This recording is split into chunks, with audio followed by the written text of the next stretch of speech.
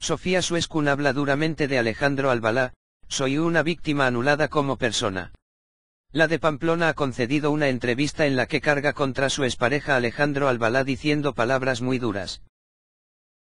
Sofía Suescun ha concedido una entrevista exclusiva a la revista Lecturas en la que, entre otras cosas, ha hablado con dureza sobre su relación con Alejandro Albalá. La de Pamplona ha confesado que ha sido una víctima del que fue su pareja durante un año. Soy una víctima anulada como persona, dijo Sofía Suescun haciendo referencia a que Alejandro Albalá le había anulado.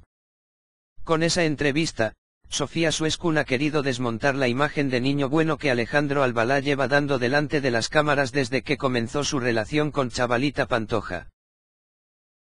La de Pamplona ha querido dejar claro que su expareja la ha destrozado, Alejandro me ha dejado destruida.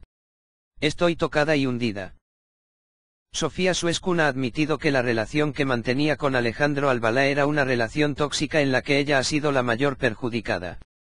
Cuando todavía estaba dentro de la casa de GH Duo la Celebrity confesó algunos de los duros episodios que había vivido junto a Alejandro Albalá por sus ataques de celos. En ese momento fue cuando Sofía Suescun se dio cuenta de que según ella el cántabro le anulaba el sentido común y no le dejaba ver la gravedad del asunto. Su relación dentro de GH Duo. Alejandro Albalá y Sofía Suescun entraron en GH Duo como pareja de concurso pero su relación sentimental estaba rota. Al verse las caras durante 24 horas al día. Las idas y venidas que protagonizaron antes de entrar se trasladaron a la casa de Guadalix de la Sierra. Un edredonín, tonteo, peleas, besos, faltas de respeto, ataques de celos. Así ha sido la relación que han mantenido Sofía Suescun y Alejandro Albalá dentro de la casa.